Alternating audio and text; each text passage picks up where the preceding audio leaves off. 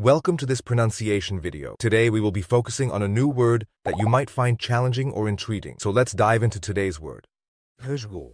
which means, A Portuguese word meaning to rip, tear, or break abruptly. let's say it all together. Rasgou. Rasgou.